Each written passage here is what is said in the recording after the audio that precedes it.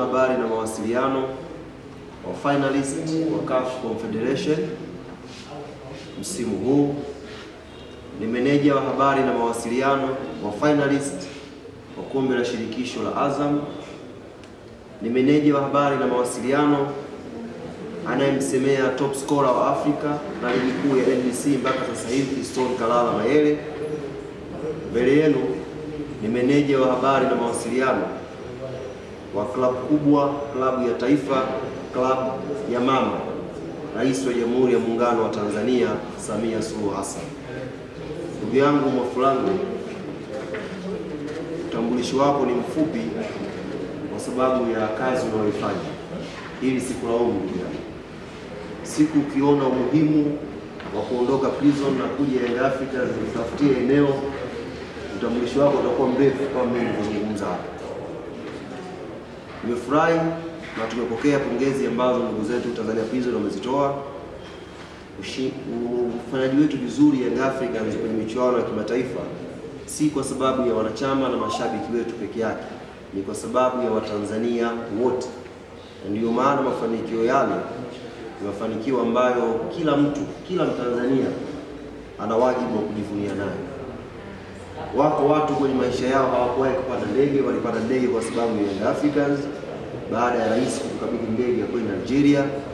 Wako watu kwenye maisha yao hawajawahi kula ubwabu wa Ikulu, lakini waliingia kula ubwabu wa Ikulu kwa sababu ya Yanga.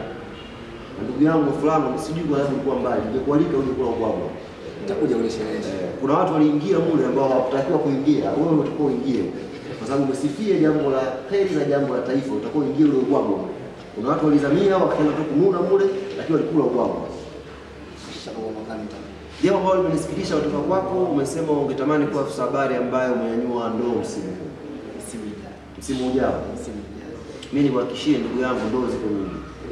Kuna ndoo za rangi, kuna ndoo za maji, unaweza kuzinyanyua wakati wote unaotaka, lakini kama unamaanisha ndoo ya ubingwa wa ligi kuu ya NBC ni mpaka wewe utoke prison uje hapa,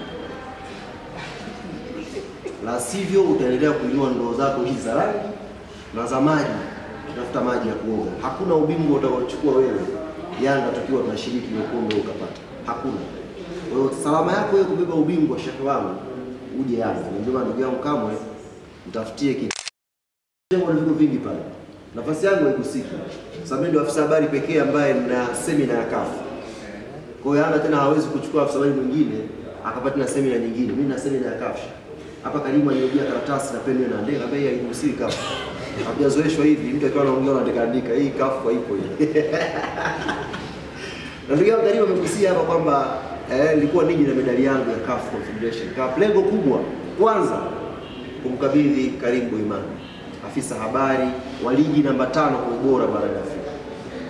Wakati Karimu anawaambia Watanzania ligi yetu inapiga hatua na thamani yake ni kubwa, watu walikuwa hawaelewi, lakini unaopata medali kubwa kama hizi za Afrika lazima na ligi, bodi yetu ya ligi ijivunie kwamba kwenye ligi yetu iko timu ambayo inaweza kupambana na miamba mingine ya ligi nyingine barani Afrika na tukaiheshimisha ligi yetu. Kwa Karimu nilihofia tu kwa sababu ya mashindano kuingiliana na nini, siende Karimu kutokana na nikabakia. Lakini kama ni ruksa shekhe, kesho siku ile wakati zawadi zinakabidhiwa na mimi nitakukabidhi zawadi. Una deserve kuipata medali ya CAF Confederation. Una deserve kama afisa habari wa bodi ya ligi ambayo inashika nafasi ya na wakifanya tathmini tena na kuhakikishia tutapanda, Tafika hata nafasi ya nne, nafasi ya tatu inshallah, kwa sababu tuna deserve.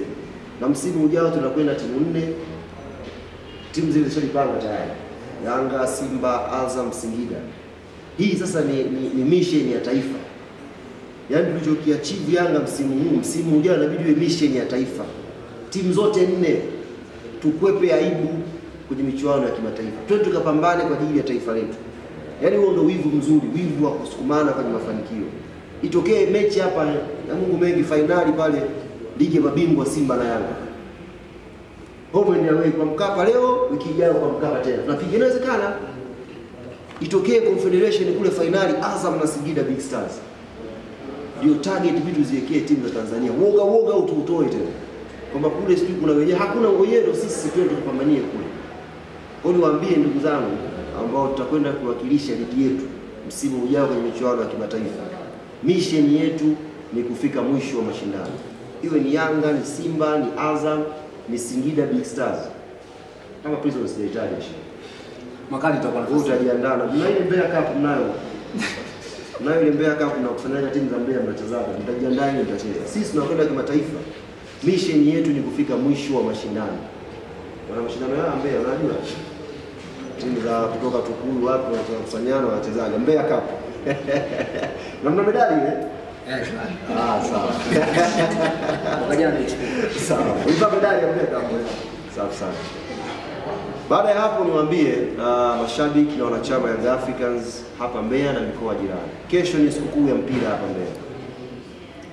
Katika vitu vinapendeza kwenye football ya kisasa, kwenye event kubwa kama hizi za timu kukabidhiwa ubingwa, uwanja unatakiwa ujae na watu uje tusherehekee na tushangilie, kwanza ubingwa ambao Yanga tumeupata, lakini pia mafanikio ambayo ligi yetu imeyapata msimu huu. Hapa afisa wa bodi alikuwa anasema kesho ndio kilele cha kupima hii sifa tuliokuwa nayo msimu mzima. Inastahili kufuni- kufunikwa nayo.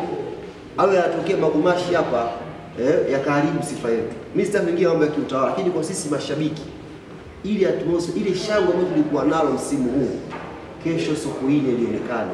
Ni sikukuu, watu waje wamependeza, vaa jezi yako ya Yanga, vaa jezi yako ya Prison, sijui zinauzwa wapi, zinauzwa zipo Yes.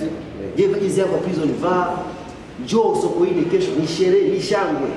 Hawa bwana kwenye ligi kama nafuatilia, sio kama wamegusia position zile za kwenye msimamo zina thamani yake.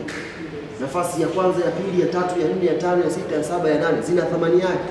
Wadhamini wetu Azam TV wameongeza thamani kwenye zile nafasi. Kwa hiyo hawa waje kukamilisha ratiba, wanakuja kupambana kupata thamani ya kumaliza kwenye hizo nafasi ili kibunda kiingie. Kwa sio mechi ya kukamilisha ratiba kama wanavyofikiria. Yanga tuna target yetu, tutoe ubingwa tukiwa tuna furaha, twende kwenye pareni. Mabwana hao wanataka kumaliza ligi kwenye nafasi nzuri, kibunda kiingie. Pata kibunda, wanaenda kusajili wachezaji hawa, msimu ujao waanze kusumbua tena. Kwa ni mechi ngumu ambayo msisimko wake kwa sisi mashabiki, kila mmoja aje kuisupport timu yake, tujae, tushangilie na mechi ikiisha tuwe wenye furaha wote. Viongozi hapa wa Prison wanaipongeza Yanga, nafasi pia mashabiki wa Prison kupongeza mashabiki wa Yanga, tuwe familia. Yaani mechi ya mwisho, sababu naamini kesho mechi zipo nyingi, lakini mechi ambayo itatazamwa sana ni hii hapa. Naamini kabisa. Watu wengi wakitazama hapa waone atmosphere tofauti, tuone upendo wa football ya Tanzania kwenye kilele chake, tuone mashabiki wa Prison wakijiengage na mashabiki wa Yanga mwisho kusherehekea mafanikio ya ligi yetu. Tuone hiyo picha, yani patikane hiyo picha kwamba mashabiki wa Yanga sasa Je, unasumbuliwa na mifupa, maumivu makali ya kiuno, mgongo na viungo vya mwili kuuma, miguu kuwaka moto? Hauhitaji kuhangaika tena, kwa maana Kitagiri Boni Solution tumekuja na suluhisho. Tunatoa ushauri wa tiba asili za virutubisho utakaokusaidia kuondokana na tatizo lako. Wengi wamepata matokeo makubwa na wamerudi kushukuru. Karibu leo upate ushauri wa afya. Napatikana Victoria, mtaa wa Makumbusho, Dar es Salaam. Instagram tunapatikana kwa jina la Kitagiri Bone Solution au wasiliana nasi kwa namba 0685555184. Wote mnakaribishwa.